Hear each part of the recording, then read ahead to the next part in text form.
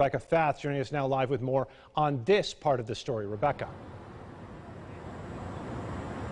Adam, just two days ago, that's when the Rochester Police Union president says he saw that video of those officers who have now been suspended and that interaction with Daniel Prude. Here's what he had to say about it.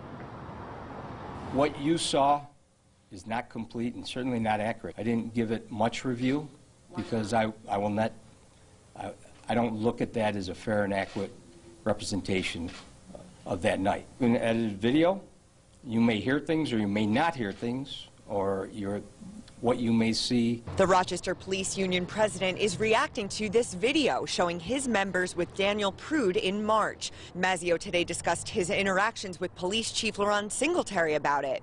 The union first learned of the incident by the chief's office reaching out to request our members who were involved in the, in the incident with Mr. Prude to speak with investigators from the major crimes that were investigating the matter. The message that was conveyed from the chief's office at that time was that there was no concerns with the actions of our members and that they had followed correct protocols per their training. In conclusion, Mazzeo said there just wasn't enough communication among the union, the police department, and the city of Rochester. The union was not aware of any concerns and were not made aware of any concerns that may have been raised by the family or anyone else until being made aware only minutes before the press conference on Wednesday.